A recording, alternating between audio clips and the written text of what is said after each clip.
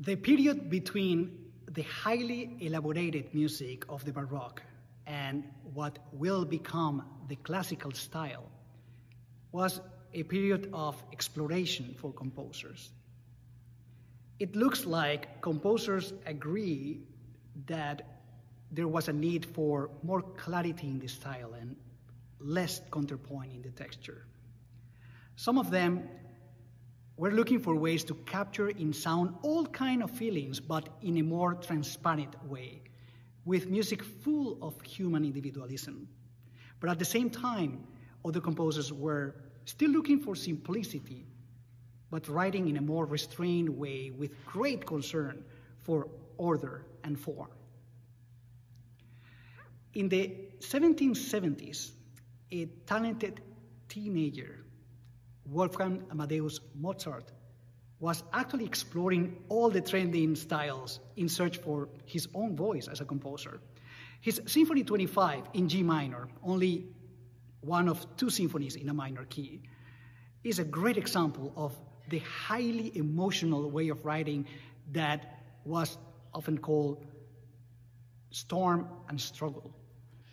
In contrast, his Symphony 29 in A major, the piece that we are playing today, is a great example of the so called gallant style with simple harmonic language, less counterpoint, short phrases, and melodies that are easy to sing. The symphony follows the typical structure of four movements allegro moderato, andante, minuet, and allegro con spirito.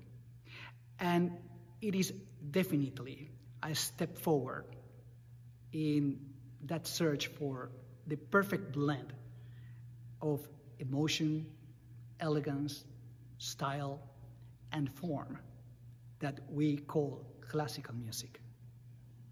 This is Mozart Symphony number 29 in A major.